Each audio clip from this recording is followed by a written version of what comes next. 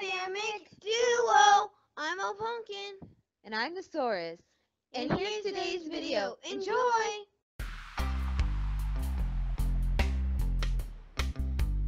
everyone how are you doing today it's the Saurus and so this first item here is called the Seawag it's actually a cell phone holder that is meant for you to be able to take your device in the water and to actually be able to use it just as if it was not in a case. And actually had a few people stop me and asked if it worked, and I was able to say with 100% it sure did. My phone, obviously, which I'm recording on right now, is still working perfectly fine. And I actually have uh, some video which I'll insert here. Activated. Yes, sir.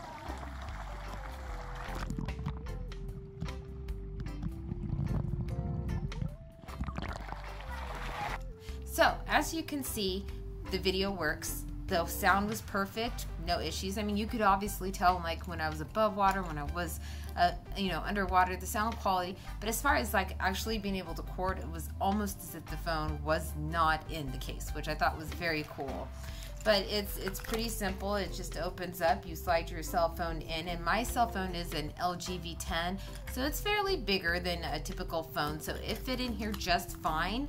Uh, they say that even iPhones work except for there's some weird thing they have to do within the settings of the phone for the iPhone in order for this to be able to function right away. Whereas with Android you just plop it in close it and you're good to go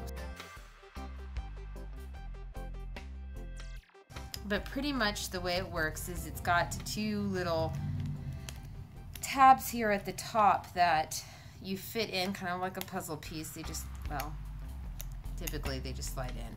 So this is what it looks like when it's closed. And then you have this little strap that is adjustable that you can hang around your neck. And that's closed. And I wasn't paid to review these either. I just, I really liked this product. Here is the front, essentially, or you can consider it the back. Um, it has the same information on the front and back, so it really doesn't matter. But you basically pull out on these tabs, and you heard that sound. That was the tabs lifting the part that folds down out, and then you just kind of pull it apart, and it kind of slides out there, and you stick your phone in. And then when you want to uh, close it, you just line up the tabs with the holes here, like that. They slide in, and then you just push them down and it's sealed. So I really do believe in this product. I definitely would recommend it and we'll be using it for future adventures.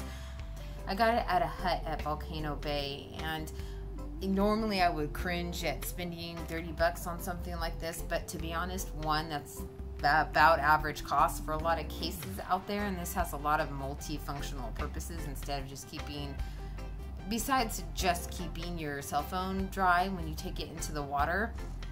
I actually also used it kind of like a carrying case so I would put my cell phone inside and then like my credit cards my debit cards our uh, express passes and our hotel key rooms that were letting us get early access to the different uh, parks. I carried it all in here, and so I just, you know, walked around all day like this with it on my neck. And it wasn't heavy, it wasn't really awkward. Uh, I didn't have any issues with it, so I definitely would recommend it. It's a Seawag. I definitely would recommend looking into it if you're looking for something to keep your cell phone wet when you're going to the beach, going to the pool, whatever the case. Um, it worked great for me. I definitely have no issues with it. I really would recommend it. I think it's reasonable for the price. Felt like a good purchase that was functional and I definitely plan to use it in the future. So until next time everyone, don't live in fear. Another video will soon be here. Bye!